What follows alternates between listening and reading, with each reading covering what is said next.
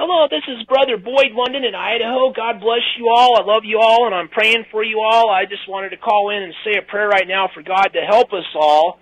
Uh, we need a lot of help here. Uh, we've been busy working on the stuff today and tonight to send all that evidence in tomorrow to the uh, Department of Homeland Security for those visas for Edna and Isabel to be able to come over here from the Philippines. And uh, I'm just uh, trying to have faith and just believing that God can help us put those through because I really would like Edna and Isabel to come over here and be in a, involved in our ministries here. A lot of you know Edna. Uh, she's been involved in the chat room on the program. She's been involved with the prayer groups on Facebook, praying for people, posting prayer requests. She's uh, gone door knocking, evangelizing over in the Philippines. She's uh, served and helped churches and fed needy people. She's done a lot of different things. And Isabel can get up there and just sing and just uh, melt people's hearts to turn their lives over to Jesus. She can sing solo songs all by herself. She's such an amazing, talented young lady, Isabel. She's only 15 and she gets straight A's in school and uh, she's only she's in a special school. She gets scholarships and stuff there. She's just amazing uh, what Isabel can do for God. I just want to say a prayer right now for us all. Father, I love you with all my heart, mind, and soul. I want to come to you in prayer in the name of your Son, Jesus Christ. Thank you for Jesus dying on the cross for our sins and shedding his blood so that our sins can be forgiven, so that our diseases can be healed, so that we can be set free from sicknesses and sins and diseases. It says right here in Luke 18:27, but he said the things which are impossible with men are possible with God. And I just thank you, Father, so much that nothing's impossible with you. It says in Ephesians 3.20 that you are able to do exceedingly abundantly above anything we ask, think, or imagine. You can do more than anything we ask, think, or imagine, and nothing is impossible with you. And I want you, Father, just to build our faith that nothing is impossible with you. We must walk by faith. It says in Hebrews 11:6 that we have to have faith to believe you, to please you. You want us to may, know that we're going to have things that haven't happened yet. They are going to become reality, whether it be healing from sicknesses or I'm praying for these visas to come through or whatever we're doing. We need to have faith, Father, and believe that you can do the impossible and know that. And then those things happen in our lives. And I'm just praying right now and asking for you to work in all of our lives and help us with us with the visas, getting those visas to go through, I'm asking you to help any of our families, any of us that needs help for you to heal us of any sicknesses and ailments and give us strength as we face challenges in life. And I'm just believing and helping, believing and knowing that you're helping anyone hearing this prayer with whatever they need help with. I thank you so much, Father. I pray this prayer in the name of your Son, Jesus Christ. Amen.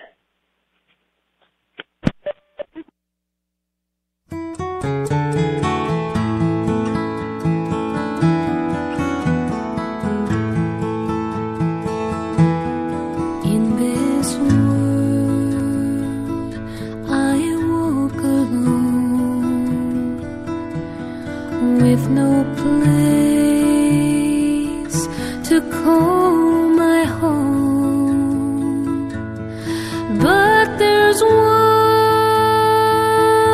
who holds my hand, the rugged road through barren lands.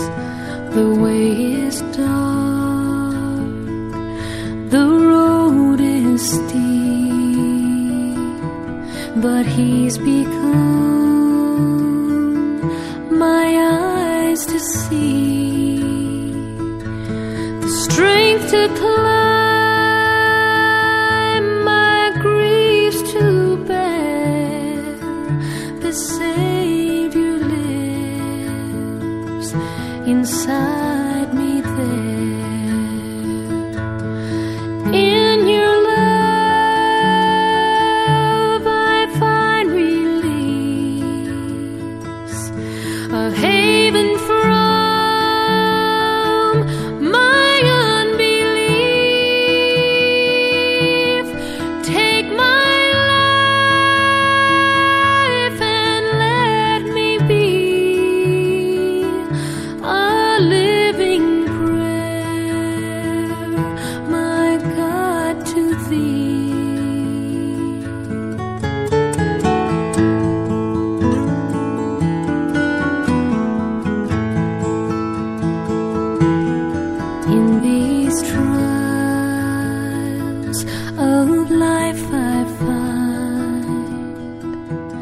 another voice inside my mind. He comforts me and bids me live inside the love the Father gives.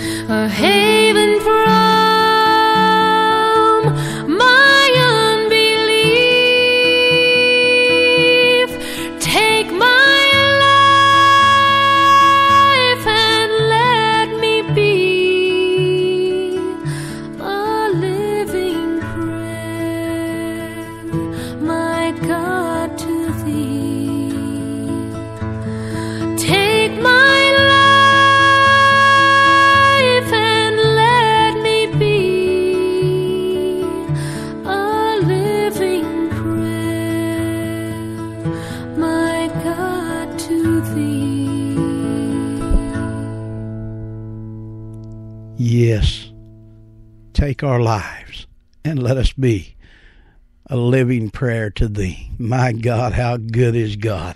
It's undescribable, my friends. Thank you, Brother Boyd, for calling in. We will continue to pray for you and your family and that visa situation, believing that all things is possible with God, asking that the dear Heavenly Father would send forth His anointing upon those workers, that they would find favor in your case, and that it would be uh, swiftly decided upon for God's will to be done. It is in the name of Jesus we pray as we stand upon the promises of God and the Word of God, knowing that the victory is ours if we'll believe and doubt not in our heart. And we say to that mountain, Be thou removed and cast into the sea. It will obey, my friends. God is not dead. He's alive and he lives forevermore. Amen. And he is active in the lives of his children. My God, God's good. I'm telling you, and it just keeps getting gooder and gooder as we're living in the end times. And uh, tonight, today, every day of our lives, we need to make the devil madder than hell is hot. Yes, you need to walk in obedience to God. And if you do that, my friends, you're going to make the world mad at you. Listen, what they done unto the disciples and the apostles and Jesus, our precious Lord and Savior Himself, they'll do unto you if you stand and proclaim the gospel. I'm talking about they're going to try to kill us. Do you hear me? They may even kill a few of us. Do you hear me? But you got to be ready. Are you sold out to Jesus? See, that's that's what's going to count in the end. Are you sold out to Jesus? Amen.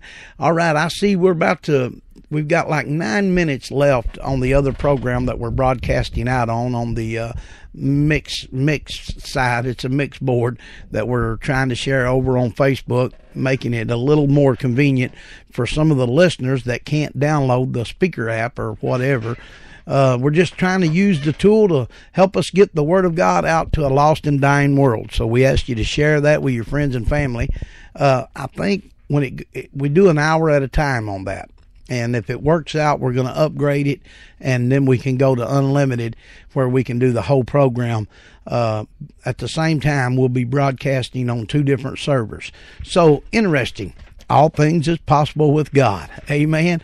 But um, i want you to know if you're listening tonight to the gospel music jukebox and you do not know jesus christ as your personal lord and savior well right now right there where you're at this is your moment. It's your hour. It's decision time. What are you going to do with Jesus? You see, if you reject him, you're condemned already. But if you'll go to him with a broken heart and a contrite spirit, my friend, if you'll cast your cares upon him, for he cares for you, if you'll reach out right now and take a hold of that unchanging hand, it don't matter if you're, listen, he knows more about you than you know about yourself. You may be filled with drugs and alcohol right now. You may be the one that's trying to, uh, aggravate me here on the program that's trying to hack my Facebook page and that's uh, stopped by the studio. Uh, but there's hope for you, and his name is Jesus Christ. You may be one living in a homosexual or lesbian lifestyle. There's hope for you. You may be one that is spreading rumors and lies. There is hope for you. You may be a uh, one calling yourself a brother or sister of mine, but yet you're mad at me. There's hope for you. You see, and his name is Jesus Christ. You may be one that is jealous tonight. You may have a jealous spirit about you. There is hope. There is deliverance, and his name is Jesus Christ.